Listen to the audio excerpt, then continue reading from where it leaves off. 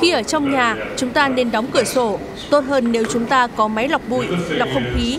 Nếu bắt buộc đi ra ngoài đường thì ta nên đeo khẩu trang và không phải khẩu trang nào cũng được mà phải đeo khẩu trang đã được chứng nhận đạt chuẩn của Hoa Kỳ hoặc Liên minh châu Âu có thể chống được bụi lơ lửng, bụi cỡ nhỏ. Còn những ngày chất lượng không khí tốt, bầu trời trong xanh, chúng ta nên ra ngoài tập thể dục, hít không khí cho thoải mái.